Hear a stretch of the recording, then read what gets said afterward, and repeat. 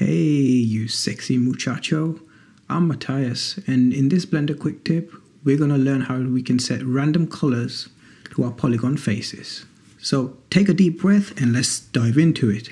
I'm going to select my mesh. This is just an icosphere and I've added a displacement modifier with just a simple displacement noise texture.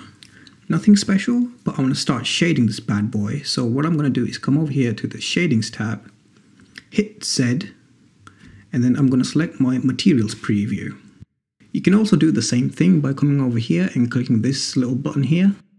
I'm going to come over here to my materials tab and click new. Give this a name, random colors. Now I'm going to go into the shader editor, shift A, input, and then select geometry. Now we have a geometry node. Shift A again, and this time I'm going to add in a converter and a math node. Now I'm going to select the true normal output from the geometry node and plug it like so. I'm going to select the add node, shift D to duplicate and move it over here. And I'm going to set this to multiply. Connect the add node like so. Shift A and I'm going to select input and select an object info node.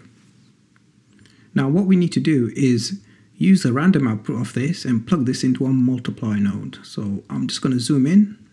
Whoop, nope. Okay, second time. Easy peasy. I'm going to select my multiply node, Shift D to duplicate, and I'm going to plug it like this. Now I'm going to set the value to about 25, should be good. I'm going to select the node and duplicate it again but this time we're going to set the operation to modulo. I'm going to connect these two bad boys up like so. Set the value to 1. Stay with me guys, stay with me. We're almost there. Take deep breaths. Now our last node is a color ramp, so shift A, converter, and then color ramp. Now we need to plug it in with its friends.